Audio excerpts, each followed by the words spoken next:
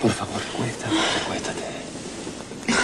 En estos momentos tú solamente tienes que dormir, descansar y sentirte mejor. ¿Por qué? ¿Por qué fuiste esta noche? ¿Por qué fuiste al circo? Quería verte.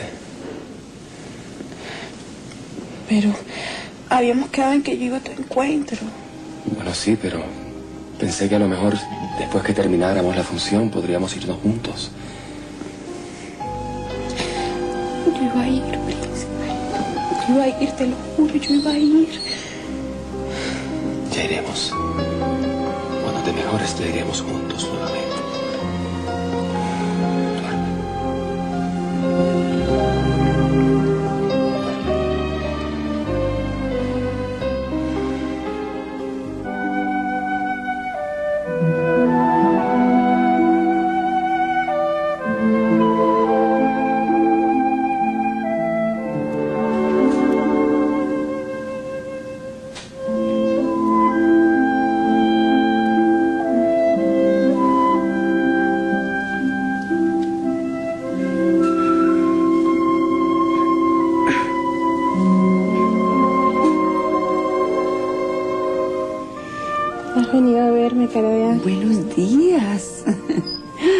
¿Cómo amaneciste?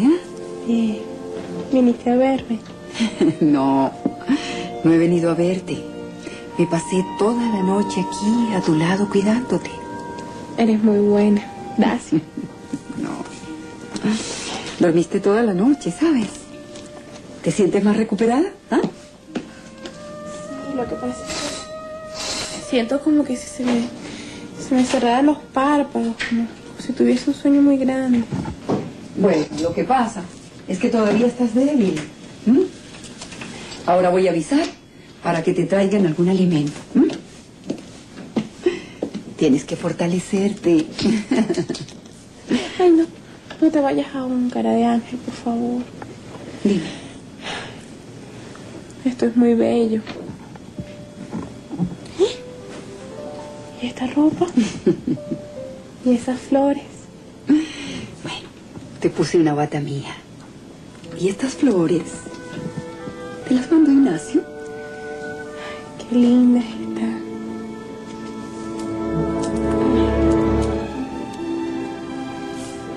Gracias. Ay, Nunca había estado en un lugar así. En una habitación tan bella. En una cama tan grande. A pesar de todas las dichas, me siento muy feliz, de verdad.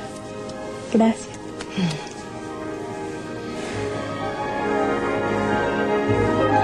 Tener que trabajar para ella como si fuera la señorita de la casa.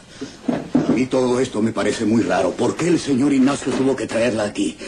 ¿Y por qué la tienen en, en ese cuarto? Como si fuera una huésped de honor.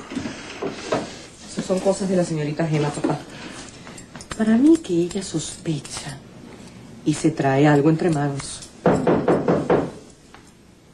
¿Quién será? Déjame ir a ver.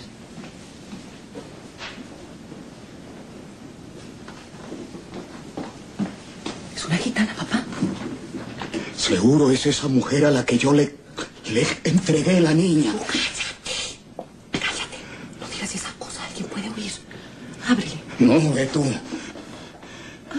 Vas a decir que tienes miedo. Porque se puede descubrir. Y nosotros saldremos mal. Pero la gitana podría ir a la cárcel. Voy a abrir yo.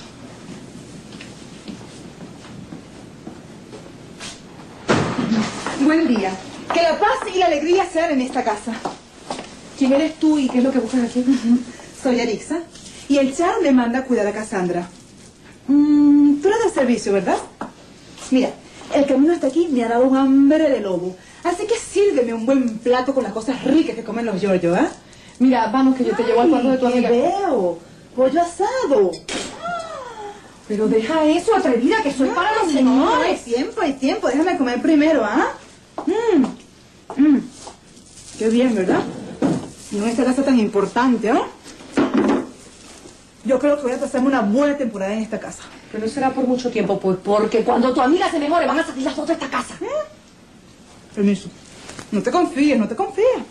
Mira, a mí... Quizás sea grave. Mira, mira, pon ese pollo ahí, pon ese pollo ahí ya. ¡Ay, Dios santo! Vamos. ¿Pero qué aldea eres, hermana?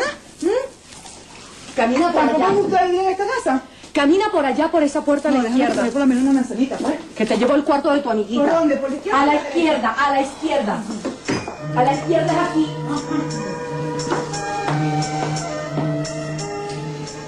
Bueno, y ahora basta de conversación, ¿ah? Voy a avisar para que te traigan algo de... ¿Se puede? Precisamente, Rosaura. Adelante, Rosaura. Con permiso. Esta mujer dice que viene a cuidar a la gitana y no sé de parte de quién dice que viene. ¡Caramba! Qué bien te ven instalada, hermana. ¿Cómo lo has conseguido? Cuidado. No me hirieron por mi gusto, Yaritza. ¿Qué haces aquí? Fernando me envía para que te cuide. Perdón, pero ¿no iba a venir la abuela de Cassandra? Pero Dorina está vieja y mis ojos miran más. Con el permiso. Hola. Buenos días. ¿Cómo estás? Bien. Mi señor, quería, quería agradecerte por todo lo que hiciste por mí anoche. No importa, no hace falta. Y gracias también por las flores. ¡Ay! ¿También es fea para la Romy? ¿Qué hace aquí? Soy Arixa. Me viste muchas veces, pero no me recuerdas. Porque tus ojos no se dignaban a fijarse en mi persona cuando Cassandra estaba presente. Vengo a atenderla a ella. No haces falta.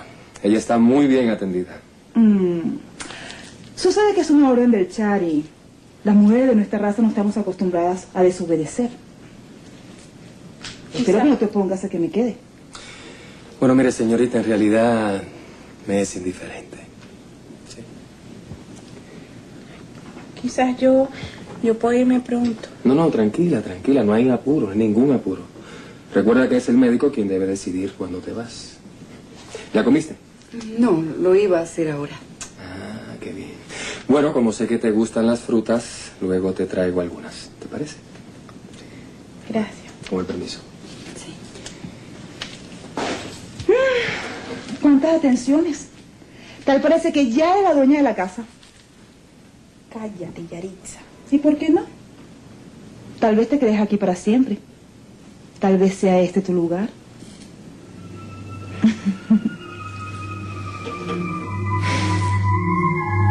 ¿Por qué dijo eso? ¿Qué intención escondida hay en sus palabras? ¿Y por qué él la trajo aquí? ¿Por qué trajo a esa mujer? ¿Por qué?